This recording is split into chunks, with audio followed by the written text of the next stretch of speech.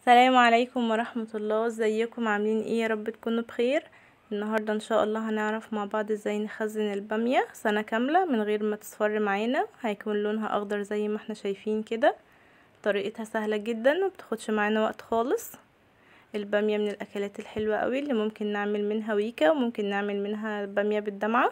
إحنا النهاردة هنعمل الاتنين. يلا بينا نشوف الطريقة.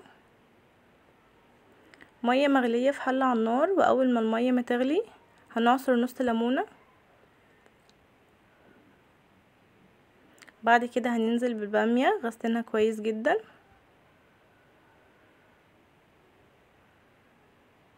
أهم حاجة ما تنضفيش البامية قبل ما تغليها لأنك لو نضفتيها وبعد كده غليتيها هتنزل كل الفايدة في المية وهتسود منك في التخزين. هنجيب بعد كده مية ساقعة جدا. دي اللي هنحط فيها البامية أول ما تطلع من المية المغلية. هي دي اللي هتخلي البامية تفضل معانا لونها أخضر. أهم حاجة البامية ما تغليش نفضل نقلب فيها ما تغليش مننا لأنها لو غليت هتصفر.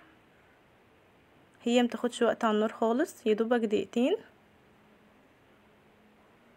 ونفضل نقلب فيها كل شوية ما نخليهاش تغلي خالص.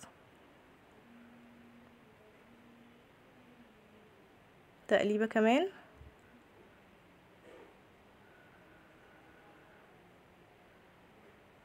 خلاص كده هي جاهزة معانا. هنحطها على طول في المية الساقعة. شايفين مجرد ما اتحطت في المية الساقعة لونها بقى أخضر أكتر من الأول. هنسيبها بقى تهدى في المية الساقعة وبعد كده هنصفيها وننضفها. هنخرط منها الكبير ويكا والصغير هنقمعه وهنحفظها في أكياس التخزين.